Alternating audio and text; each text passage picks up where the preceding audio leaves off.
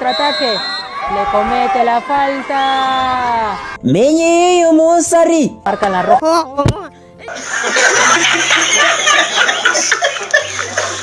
abantu bahumuye mu minsi iza ngo turabona ikarita y'ubururu mu mupira w'amaguru ng'uzajya ayihabwa azajya asohoka iminota icumi.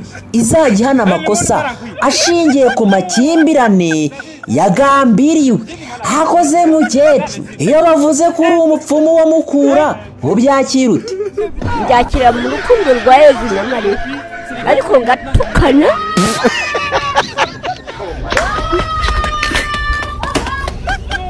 Ku mihanda ko mbona byakomeye noneho. Uzi ibyabaye noneho? Kazungu yasabye imbabazi. Ati ndasaba ko ntagabanyirizwa ibihano ndasaba imbabazi nakambira urukiko ntakambira abo nakoreye ibyaha umuryango nyarwanda. Ngasaba imbabazi no kwihangana kuba nateje ingaruka mu rugendo rw'ubuzima turimo ayo ni amagambo yakoresheje ubwo yari amaze kwemera icyaha imbere y'urukiko. Dore ko ubushinjacyaha bwamusabiye gufungwa burundu. Mu gihe tukiri kuri kazungu ego mu murenge wa mwendo wo mu karere ka ruhango umugore arakekwaho kuva kubyara yagera mu rugo akica umwana akamuhamba. Akimara gukora ayo mahano ngo ahite atoroka. Noneho no kujya kubyara ngewe uvuga ibi ngibi yanciyeho aho ntuye aha ngaha igorwa mureba hepfo n'urwanjye yego. Ancaho umuntu ugiye kubyara nyine ubu nabibona aragenda ndagumya turakurikirana kugeza ubwo ageze igitwe kwa muganga. Arabyara. Abyaye duheruka ibyo mbese ijambo ngo yarabyaye ryo twararyumvise n'abatanga impundu barazitanga. Ni amahano ni amahano ya- yakojeje cyane. Ni musaza njye ndi musaza. Ubwo ubwo na- nawe njye bampamagaye nimugoroba mvuye ahantu nakoraga hakurya iriya mushubati babimbwira ngo yica umwana mbura ukuntu nza kuko bwari bwije. Ubwo nahageze mu gitondo nka saa mbiri. Bahita banyereka nyine ahantu ba- ba- bamushyize bashyizeho udutumba. Ubwo ni bwo nyine mu kanya ribu ije kumukuramo kuko duhita tubona ko ari umwana mu- wari ugereye igihe cyo gukura. Yewe n'ibiri kuri iyi mihanda agashya uwigeze kuba minisitiri w'uburezi mu rwanda ngo yahimbye diporome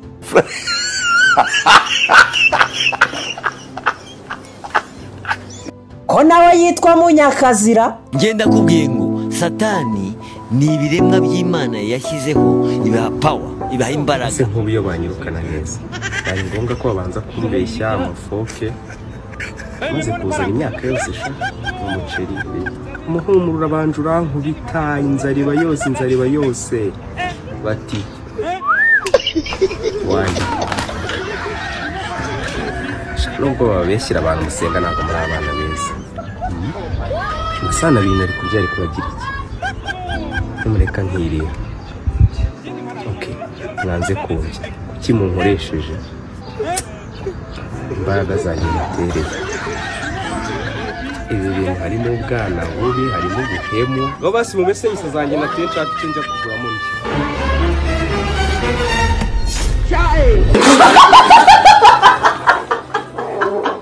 ese twibutse harya cyagiye muri muri amerika ngo wowe na debeni bigenda bite?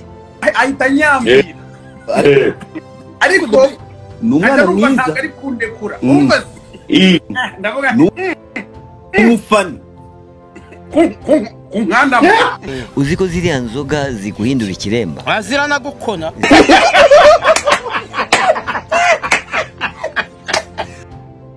ariko nk'ubu ngubu turetse kubeshya. Nakumva ko karifata ute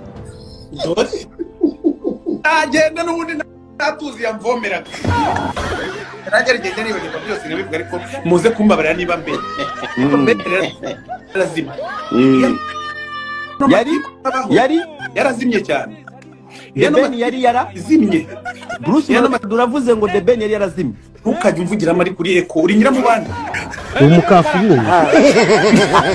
Kanyombya yanjye nka ni ukuri kw'imana umukafiri wowe? Inka.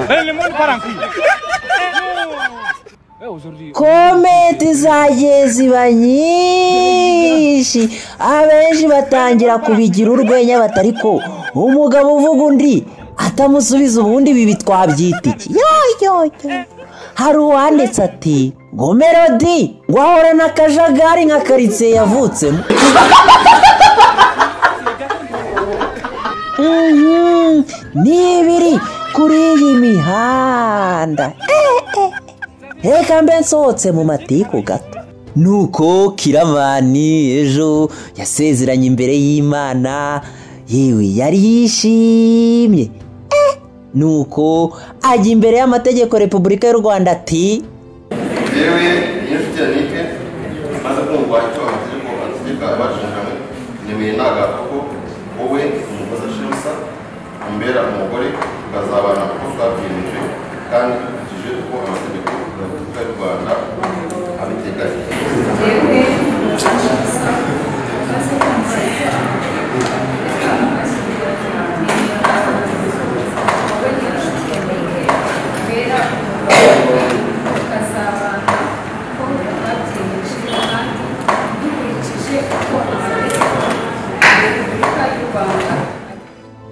yewe abenshi bari bishimye nubwo bamwe baruraga mu buryo budasanzwe. Gusa ibi ntitubitindaho urukundo ruracyaganje muri benshi murabona uyu musore nawe eh, yivumburiye. Umuzungukazi hari akandi gashya noneho. Uyu we ni umusore w'imyaka makumyabiri n'ine. Harimo umunyenga w'urukundo n'umugore w'imyaka mirongo inani pe. Haze nk'ubu mitsi urabura iki? Ibaze n'uyu mwana agutanze uri kubona umugeni?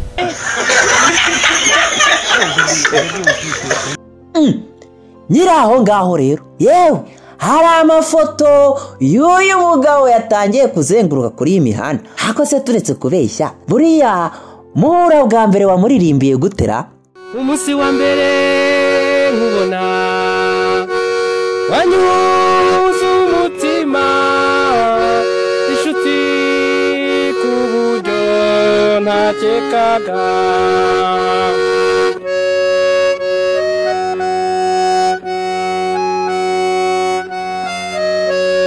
Ese ubundi aka gashati nari nambaye. Ni we nakaranguriye kabisa. Ni sayizi yawe. Wowe upfa kunguza amafaranga gusa. Nshaka buriya kuzagutekera n'ingurube. Hakwandi ubundi nk'uyu warabura iki aba batipe bagira intinya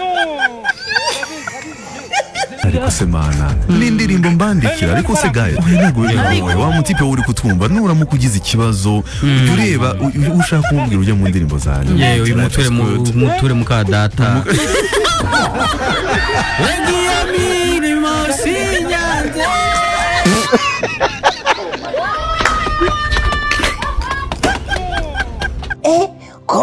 Ko mbona se abandi biryoshye. Ureba nk'uyu mubyeyi uri mu rukundo n'umwana yabyara. Muze iwawe byifashe bite?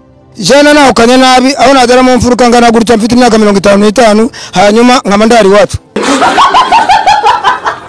None se byagenze bite? Ejo bundi igihe cy'umupira kwa gatanu. Andreba nicaye nk'uko nicaye aha ngaha umupira wari wabaye ankubita inshyi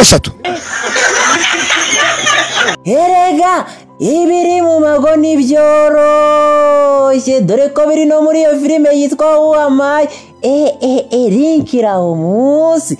Ese muba mwibutse kujya kureba? Reka twikomereze. N'ibiri kuri iyi mihanda. Mu gihe inyubako y'umupfumu urutanga rw'amaboko yafashwe n'inkongi y'umuriro igashya igakongoka nka fiderati abazimu bashye. Ntiruzi impuhwe rugerayo. Ku mihanda ko noneho naho kabaye ngo saba asigaye asambanyaga abagore b'abandi. Reba tureke ikiganiro ubutaha uzabona uretse gato guhaye inkoko yanjye ni uko nguko uri kumbwira nabi ninde wigeze Oshe, none ndakwa guha inkoko uvuge n'amagambo angana atyo wowe ntunyuriye ejo bundi uzabona inkoko iri muri uburozi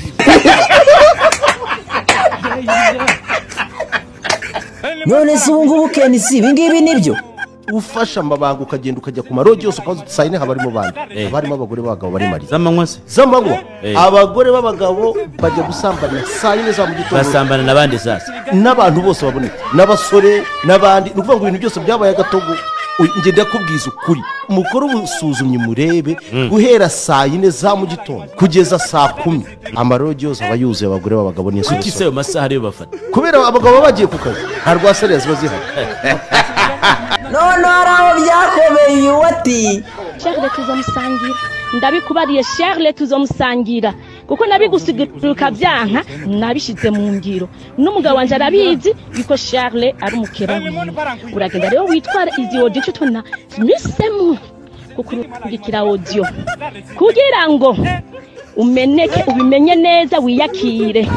Uba usambura mbuga ibyasi niba uyiha detete. Jo mpamvu? Ndi kubona umugeni ndi kubona umugeni urakoze Imana iguhe umugisha. ntabwo mbyibutse n'ukuri kw'imana ngo ugiye wumva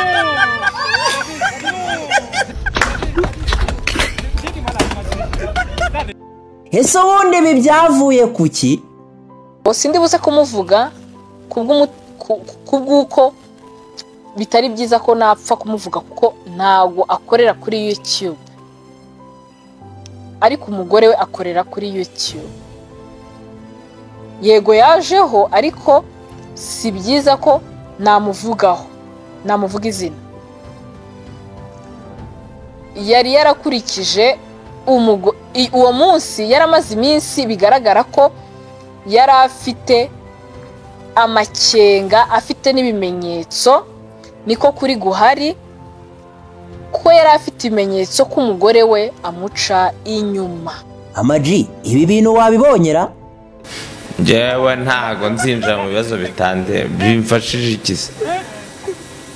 Uza amakaye hano ageze imwe.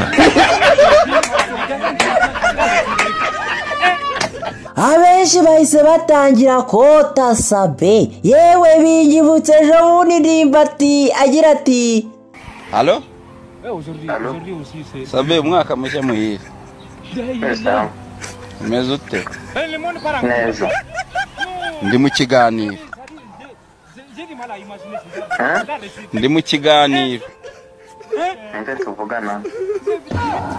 Ni ndimbati. Ndi mu kiganiro.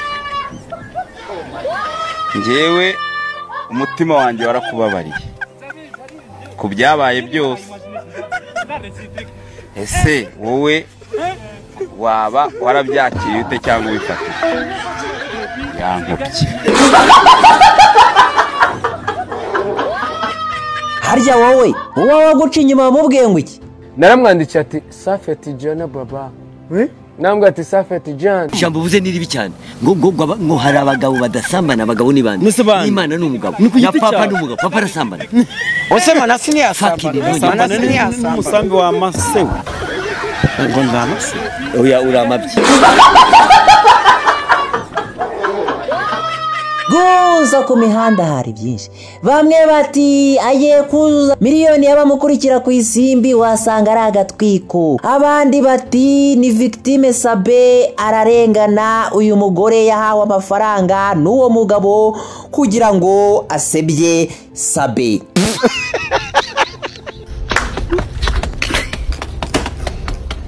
ese wa mugore we. Ubundi ibyo bintu uvuga wabikuye. Ko numvishe amakuru y'uko ngo waba warishyuwe kugira ngo uze gusebya sabe? Nubishaka. Igihe cyose uzajya ushakira uzajya uza Aho? ariko unkemurira ikibazo uriya mugore aranzengera aratsinzwe. Yewe hakoze turetse kubeshya. Ubu n'akasuku yabibasha. Iyo ndiyatuma umurongora. yagiye koga mbona umuhini afite.